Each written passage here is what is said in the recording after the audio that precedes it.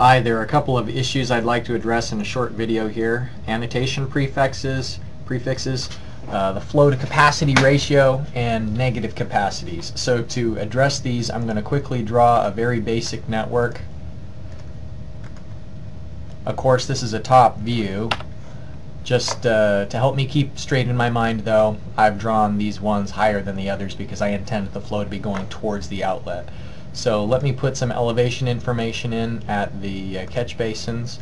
I'll say that the uh, invert elevation is 100, 99, 98, and then I have to give an elevation to the outfall, um, 96.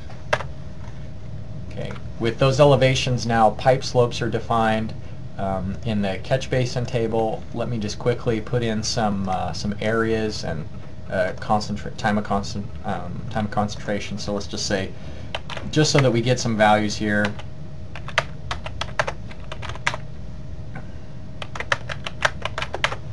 All right, and some additional flow. This is the sewage that would be in the pipe. Maybe I've just from my external calculations, I know how much is going to be in there from that.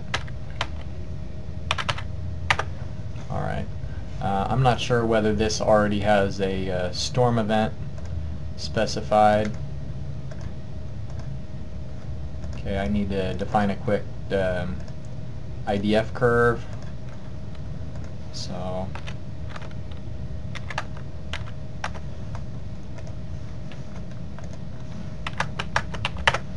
I don't know that whether that's a reasonable IDF curve, but it gives me some data that it can uh, compute against, and now I'm able to um, pick a storm. Alright, so if I have it execute the model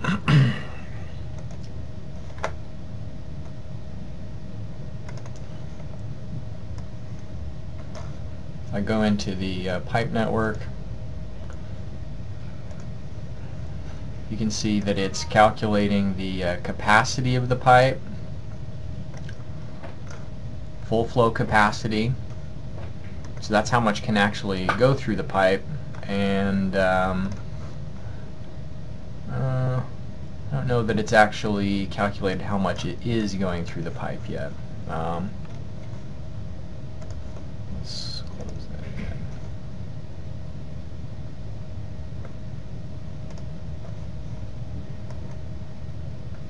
Alright, it's not going to let me execute the model until I put some rim elevations in for the uh, catch basins. Alright, it's anxious about that. It's fine. We'll define it real quick.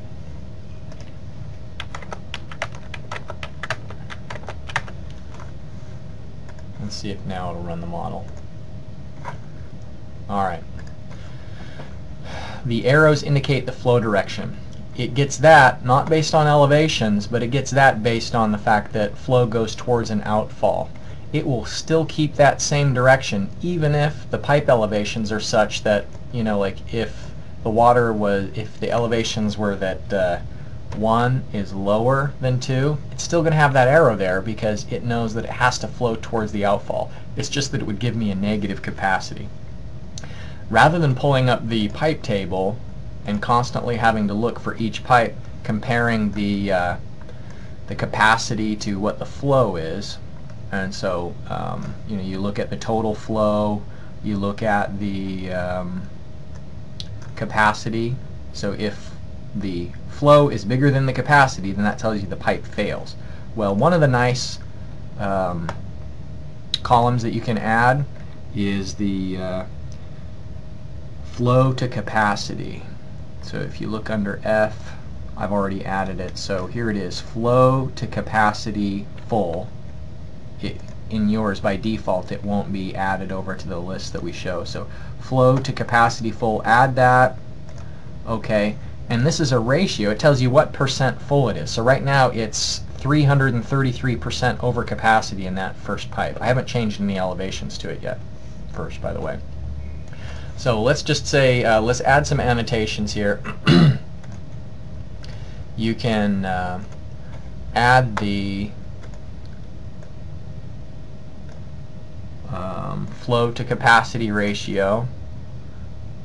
Uh, not design full. They're the same. Doesn't matter. And here's a nice thing. Um, I'm going to put a prefix on here because sometimes when you annotate a map it'll give you the units but you don't really know what it is.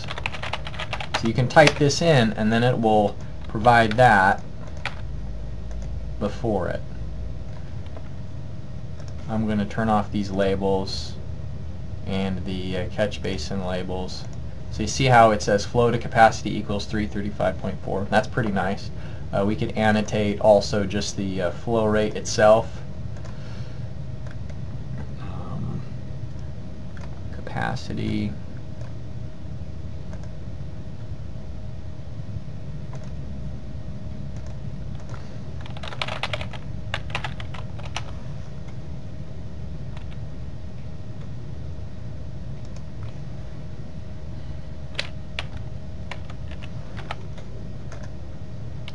and maybe I also want to have the um, annotation of the flow.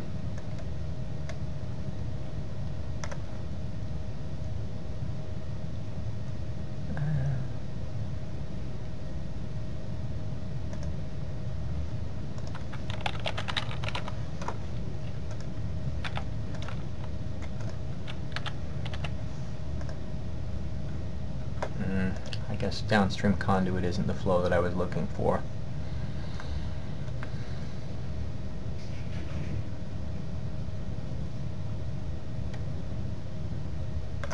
Well, we'll forget about that one.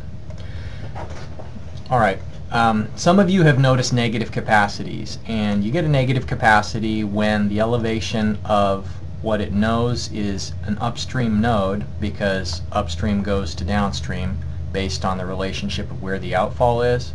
If you change the elevation of the uh, um, of what it knows is an upstream node to be lower than a downstream node, that's when it will start reporting a uh, negative capacity.